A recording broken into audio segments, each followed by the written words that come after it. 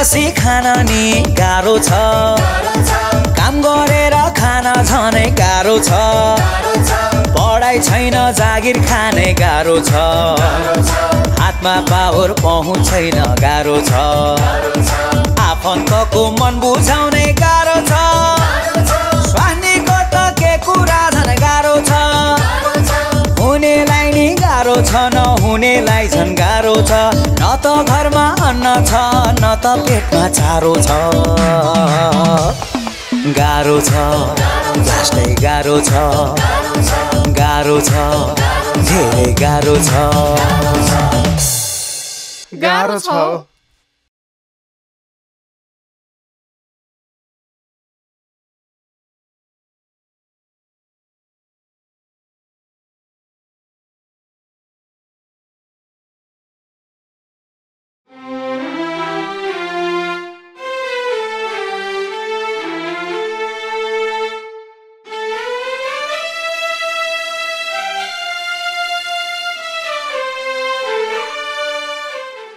होइन यत्रो कोठाभरि मान्छे बसिया छन्। कोही पनि बोल्दैन त।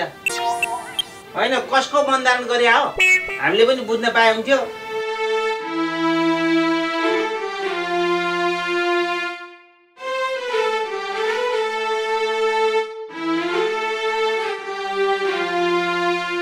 होइन कोही पनि बोल्दैन त। आज नबोल्ने दिन हो कि क्या हो? ओ भट्टे अरू कोही नबोले पनि तँ त बोल। ठिकै छ नबोल अब यही नबोलेको मौकामा म सत्य घटनामा आधारित एउटा प्रेम कहानी सुनाउँछु है त। यो प्रेम कहानी दुई हजार साठी सालतिरको दुई हजार साठी साल वैशाख पन्ध्र गते यो भटभटेर सुकलालको छोरी रिनाको डिप लभ परेको थियो।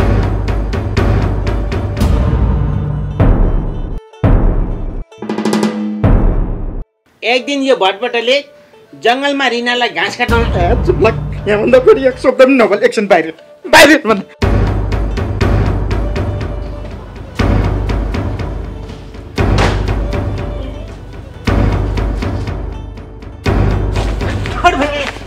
के गरे सास फेर्नै नमिल्ने गरी मुख थिच्नुपर्छ अहिले मैले सास फेर्न बिर्सेको भए के हुन्थ्यो हाँ? के हुनु नि त मर्तिस। कोही नभएको पापी। अनि के ताल हो तेरो। तँसँग अलिकति बुद्धि दिमाग भन्ने छैन त्यत्रो सासु ससुरा दिदी भिनाजु सबै त्यहीँ बसिरहेछन्। तैँले मेरो जमानाको प्रेम कहानी सुनाएर कुरा बिगार्नु खोज्ने हँ? अनि किन नबोले त? अरू त बोलेन बोलेनन् मलाई मतलब भएन। तँ त बोल्नु पर्थ्यो नि। तँ पनि बोल्नेस्? त्यही भएर साठी साल वैशाख पन्ध्र गतिको तेरो प्रेम कहानी सुनाउँदाखेरि त बोल्छस् कि भनेर मैले सुनाएको नि। अनि यही भट्टे तिम्रो सबै चाहिँ मसँग किन नबोलेको? किन नबोल्नु नि? तेरो कारणले नबोले नि। त्यहाँ तेरो बानी बेहोरा कसैलाई पनि मन परेको छैन। तँसँग कोही पनि बोल्न चाहन्न। त्यही भएर तेरो कारणले सबैजना मौन धारण बसिरहेछन् बुझिस्? ए कुरा त्यस्तो पो त्यसो भए म पनि कोहीसँग बोल्दिनँ। हेर भट्टे वास्तवमा भन्ने हो भने मलाई पनि तेरो ससुराली खला कोही मन परेको छैन। मेन त तेरो ससुरा बाउ फुटेको आँखाले पनि हेर्ने मन छैन। देख त्यसको नाकमा चिमर्दिउँ जस्तो लाग्छ। अनि तेरो ससुरा बाउ के भएको? कहिले पनि हाँस्न आउँदैन। जहिले पनि बाघले जस्तो खाउँला जस्तो गरेर हेर्नुपर्छ। तेरो ससुरा बाउलाई के थाहा? म पनि सिंह हुँ भन्ने कुरा। बाघले सिंहको शिकार कहिले पनि गर्न सक्दैन बुझिस्? चुप लाग चुप लाग? तैँले चुप लाग भन्ने बित्तिकै म चुप लाग्ने हो। हेर भट्टे तेरो यो ससुर बाउलाई राम्रोसँग सम्झा। नत्र मैले सम्झाउनु पर्यो भने राम्रो हुनेवाला छैन। तेरो यो ससुर बाउको बानी बेहोरै मलाई मन परेको छैन। बरु अहिलेको ससुरा भन्दा तेरो त्यो पहिलो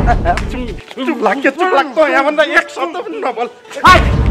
एक शब्द होइन म हजार शब्द बोल्छु। त्यसो भए बोलेर बस। गाह्रो छ हौ मलाई। गाडी तँलाई भइहाल्छ नि।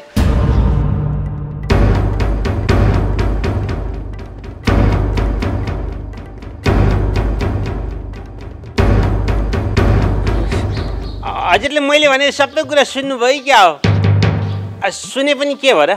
मैले हजुरको राम्रै कुरा गरिरहेको थिएँ। हजुरको प्रशंसै गरिरहेको थिएँ। हजुरको बखानी गरिरहेको थिएँ।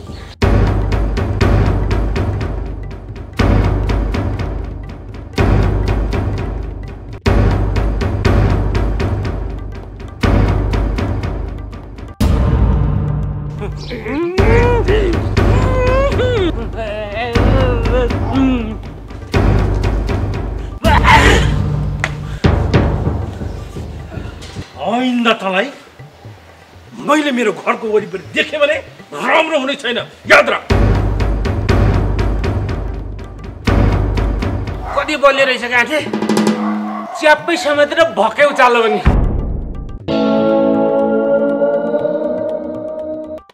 यत्रो कोरोनाले नमरेको आठ झन्डै मार्थ्यो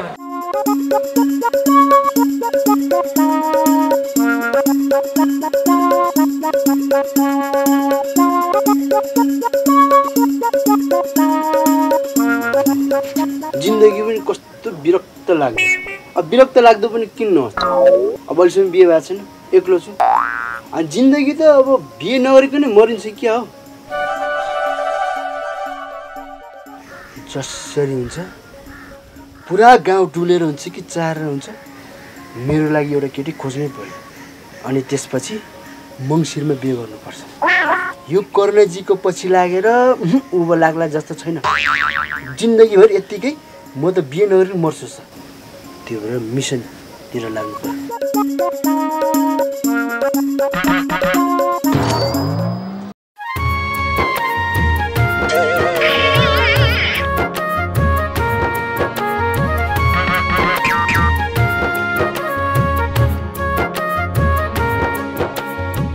गलबन्दीजी आई लभ मच मच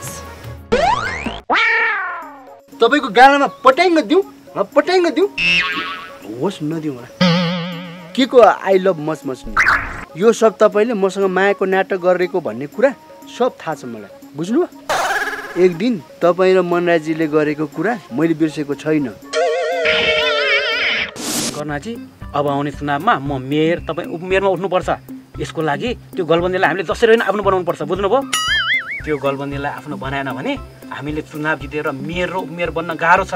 झन्डै सात गाउँको भोट त उसैको हातमा छ। त्यो सबै भोट हामीले ल्याएर अबको चुनाव जित्नुपर्छ बुझ्नुभयो अब तपाईँले त्यो गलबन्दीलाई मायाको नाटक गरेर आफ्नो माया जालमा पारेर चुनावसम्ममा आफ्नो बनाउनुपर्छ। पछि चुनाव जितेपछि छोडिदिनु होला। हेर्नुहोस् करुणाजी तपाईँले मसँग मायाको नाटक गरेर उपमेयर बन्ने सपना नदेख्नुहोस्। उपमेयरको आशले आज तपाईँ बेहुली नै बनेर आउनु भयो नि त। गलबन्दीजी मैले मायाको नाटक गरेकी होइन। मलाई उपमेयर बन्नु पनि छैन। मलाई त बस हजुरको श्रीमती बन्नु छ। म त हजुरसँग अझै बिहे गर्ने भनेर ए बेहुली बनेर आएँ ए सिन्दुर मेरो सिउँदो रङ्गाएर अझै मलाई तपाईँको श्रीमती बनाउनुहोस्। ए लिनुहोस्। के हो के हो? म त कुरै बुझ्न सकिरहेको छैन भने। जे परे पर्छ सिन्दुर हालेर श्रीमती बनाऊ कि क्या हो? गलबन्दीजी के सोच्नु भएको? धेरै नसोच्नुहोस्। छिट्टै सिन्दुर हालेर मलाई तपाईँको श्रीमती बनाएर घरभित्र आउनुहोस्। हस् करुणेजी। तर आज कार्तिक एक गते कार्तिकमा त कुकुर कुकुर्नीको पो बिहे हुन्छ त। तपाईँ र म पनि कुकुर कुकुर नि त हो नि। भन्न मिल्दैन आँट भए कार्तिक महिनाले छेक्दैन। छिट्टो सिन्दुर हालिदिनुहोस्। अब तपाईँले नै सिन्दुर हाल्नु भनेपछि म चाहिँ के चुप्पो लगाएर बस्छु? अब यो गलबन्दी माइलोले सिन्दुर हाल्यो।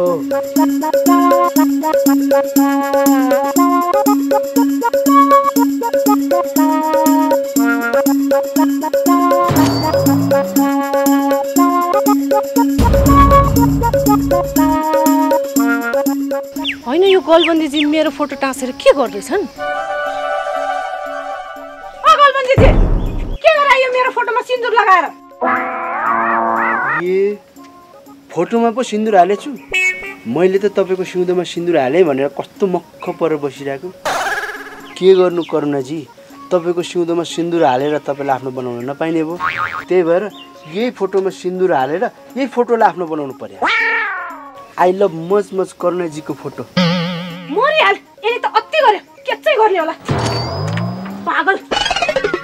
हो करुणाजी म पागल हो।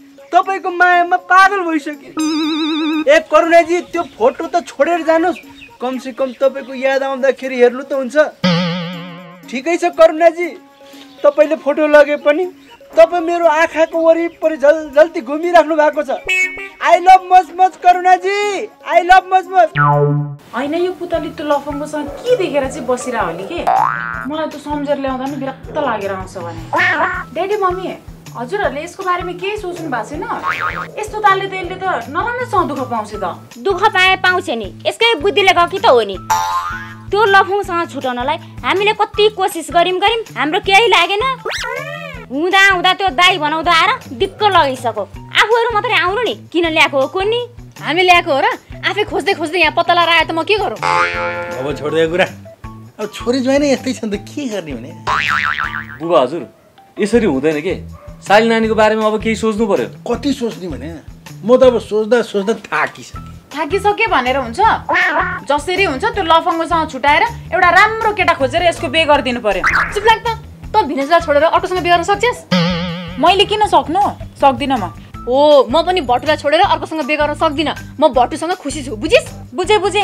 कसैको नभएको भट्टु रहेछ। नाम पनि कस्तो हो कुनी भट्टु रे। तेरै बुढाको नाम राम्रो भयो भइहाल्यो नि। रिस उठ्नी देख्यो सम्झाउनु खोज्यो यसो गर्थे अनि के गर्ने त्यही भएर हामीले जेसुकै गरोस् भनेर छोडिदियो अब मर्नु भएन बाउलाउनु भयो सहेर बस्यो आनन्द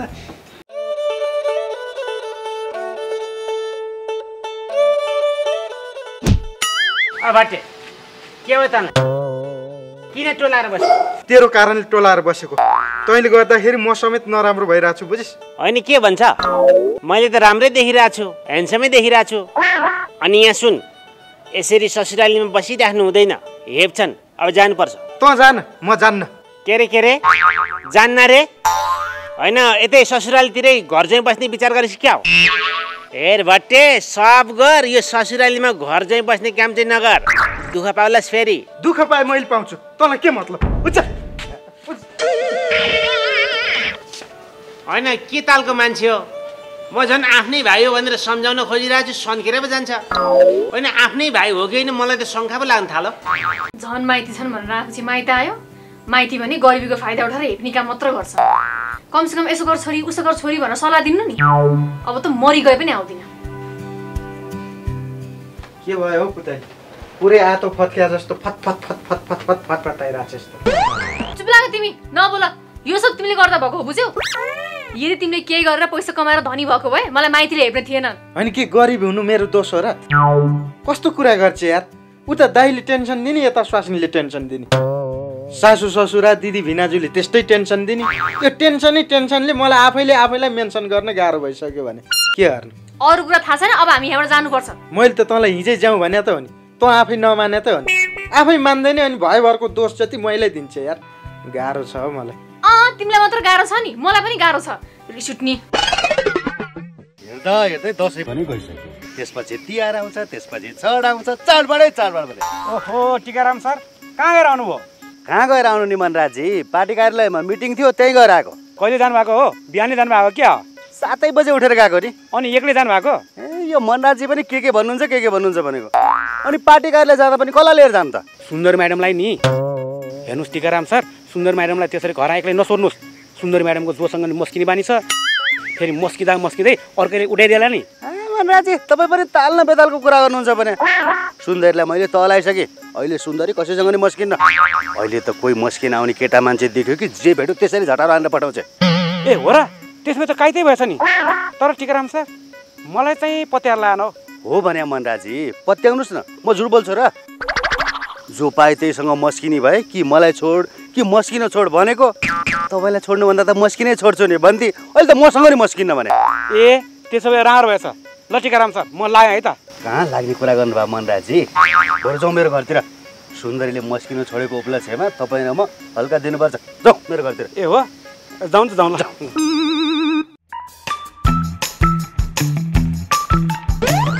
सुन्दरी म्याडम के छ हाल खबर? के हो अरू बेला त मस्किनुहुन्थ्यो आज त मस्किनु भएन नि एकचोटि मस्किनु न। किन मस्किनु पर्यो? म मस्किन छोडिसकेँ। हो र हजुरको स्वभाव नै मुस्कानमा थियो मस्किनु नछोड्या भए हुन्थ्यो। हजुर नमस्किँदा कस्तो नराम्रो देखिँदो रहेछ। मस्किनुहोस् मस्किनु नछोड्नुहोस् है। यो टपरी लालको कुरा पनि ठिक हो। म मस्किन छोड्नु हुँदैन। बरु बुढालाई छोड्छु तर मस्किन छोड्दिनँ। सुन्दरी म्याडम मस्किनु न हो। नमस्किँदा कति नराम्रो देखियो क्या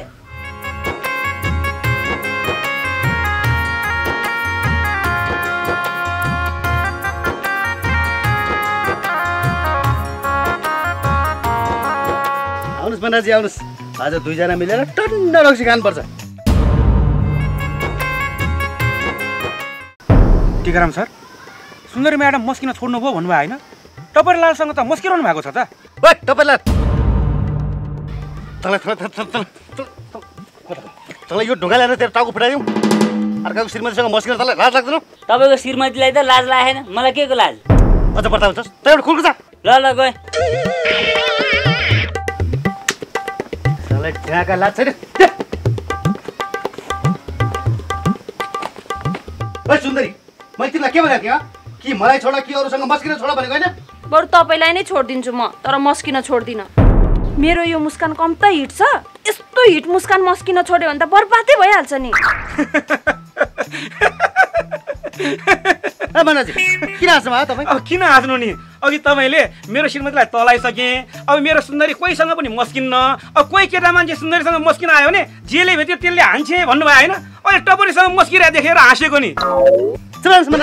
जानुहोस् रे। अनि मलाई यहाँ रक्सी खुवाउँछु भनेर बोलाएको होइन त। रक्सी खुवाउँछु भनेर त बोलाएको नि सुन्दरी मस्किन छोडी त्यही खुसियालीमा रक्सी खुवाउँछु भनेको ऊ मस्किन थालिहाल्यो। अब के रक्सी खुवाउनु? जानु तपाईँ यहाँबाट।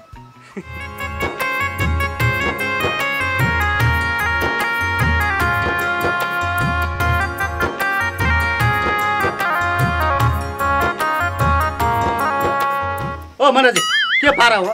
एकैचोटि दुइटा अपराध। श्रीमानको अगाडि श्रीमतीसँग मस्किने। सुन्दरी तिमी जाऊ। यस्तो मस्किन नि नदिने यस्तो बुढो रहेछ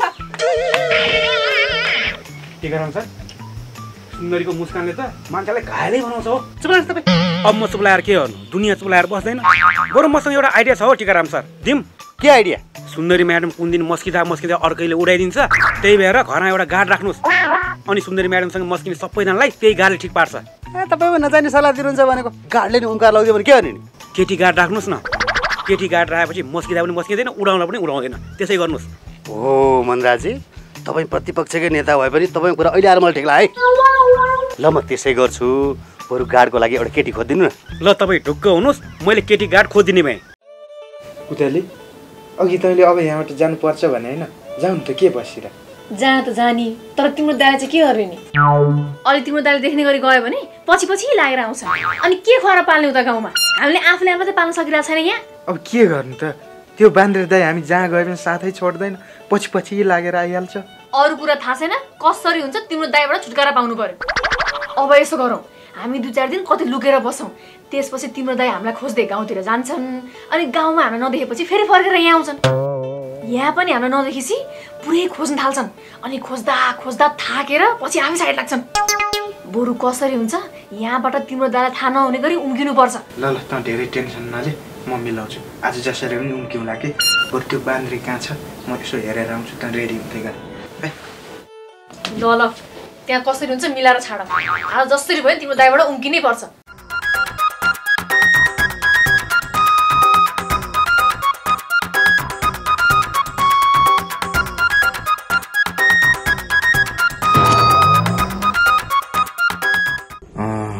यो टोइलेट गएको मौकामा चुकुल लगाइदिएर उम्किनु पर्यो।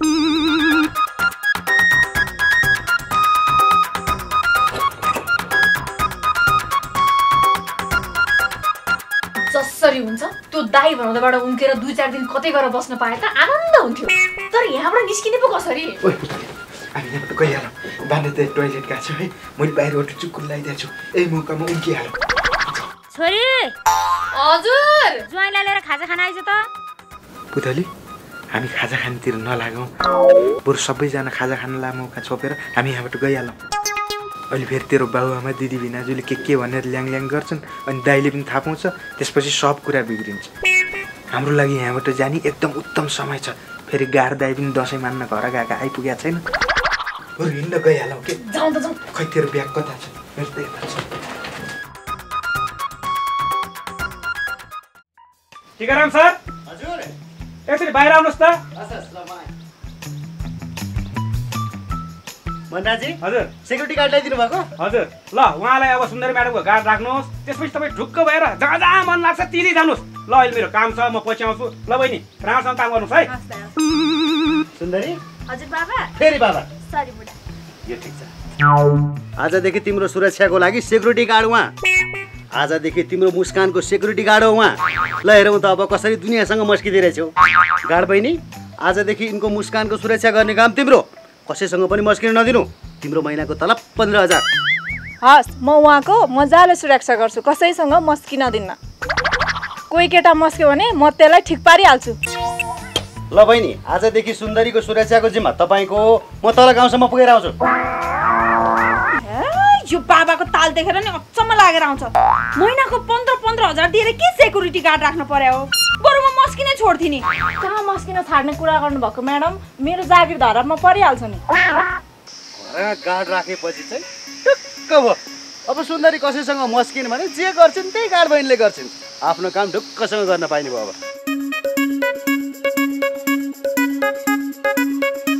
ओहो टिकराम सर नमस्कार। नमस्ते नमस्ते। म हजुरकै घरतिर जान लागिरहेको थिएँ बाटोमै भेट भयो। किन जान लाग्यो मेरो घर? एकछिन हजुरको मोबाइल दिनु न एककल फोन गर्नु पर्यो। जहिले मसँग मोबाइल माग्छ भने। एउटा मोबाइल किन्नु नि। किन्न त हुन्थ्यो पैसै छैन दिनु न। ल एकछिन पख है त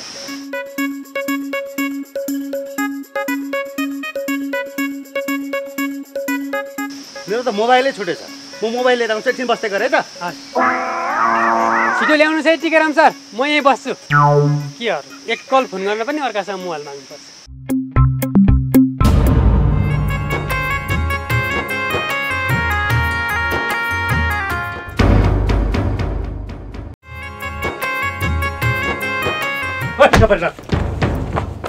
भागेर पछि नत्र मैले जाने।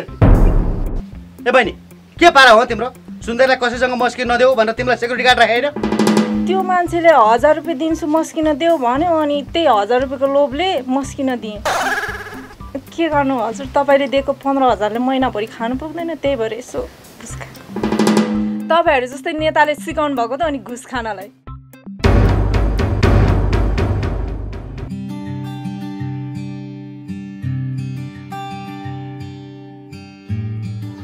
तर भित्र पनि गाई छैनन्।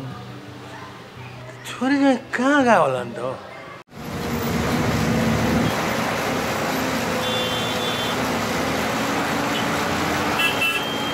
पुतली त्यो बान्दे दाईबाट उम्किएर त आइयो। अब घर गयो भने पछि पछि खोज्दै घर आउँछ। बरु केही दिन कतै गएर लुक्नु पर्ला जस्तो छ तर कहाँ गएर लुक्ने हो? अब कहाँ गएर लुक्ने? मेरो सानियामा हुनुहुन्छ केही दिन त्यही सानियामा गएर बस्छ अह हुँदैन। त्यहाँ पनि गन्ध सुँग्दै आउन सक्छ। बरु हामी केही दिन कुनै गाउँमा गएर लुकौँ। गाउँमा गएर लुकेपछि नआउन पनि सक्छ कि? कुनै गाउँमा गएर लुक्नु भन्दा त मेरो सानियामाकै पनि ठिक छ। जाउँ न बरु। अनि तेरो सानीमा घर कहाँ हो? तँलाई थाहा छ त। मलाई थाहा छ हौ। त्यही कलङ्किता हो नि।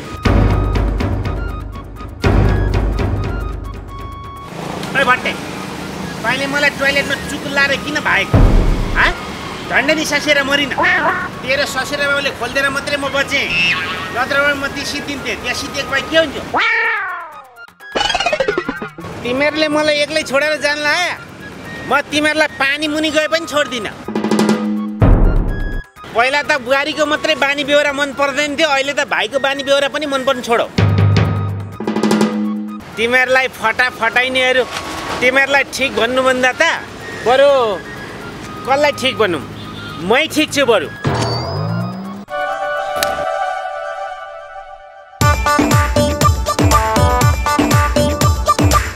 बसी बसी खान नि गाह्रो छ।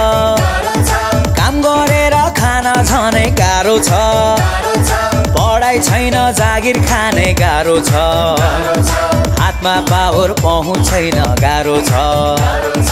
आफन्तको मन बुझाउने गाह्रो छ। स्वास्नीको त के कुरा झन् गाह्रो छ। हुनेलाई नि गाह्रो छ नहुनेलाई झन् गाह्रो छ। न त घरमा अन्न छ न त पेटमा चारो छ। गाह्रो छ लास्टै गाह्रो छ। गाह्रो छ धेरै गाह्रो छ। गाह्रो छ।